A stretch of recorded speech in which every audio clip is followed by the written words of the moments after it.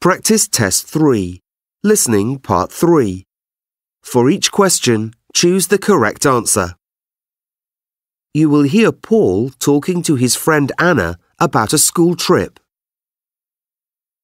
Are you coming on Mr. Fox's school trip tomorrow, Paul? Where?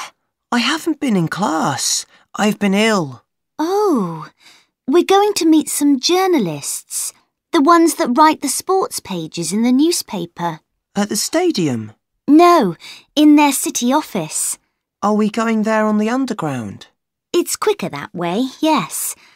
I prefer travelling by bus or coach because you can look at all the shops on the way. What time are we leaving? I'll be at the school gates at about 8.20 because my dad always brings me. But we don't have to be there until half past. I don't mind waiting outside for 10 minutes. OK. Do we have to bring anything? What about project work? No, but Mr. Fox said bring our mobiles. He doesn't want to lose anyone. And I might take a raincoat with me. Right. And we have to pay Mr. Fox £8.25. That includes lunch, which is £5.75. I'm going to take £1 extra. Mm, what for? An ice cream. Are you coming on Mr. Fox's school trip tomorrow, Paul? Where? I haven't been in class. I've been ill.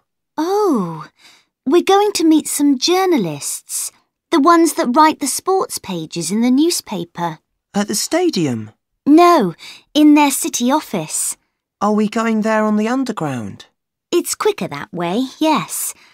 I prefer travelling by bus or coach because you can look at all the shops on the way. What time are we leaving?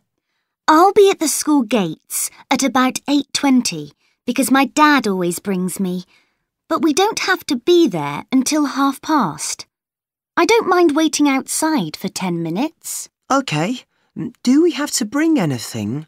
What about project work? No, but Mr. Fox said bring our mobiles. He doesn't want to lose anyone. And I might take a raincoat with me. Right. And we have to pay Mr. Fox £8.25. That includes lunch, which is £5.75. I'm going to take £1 extra. Mm, what for? An ice cream.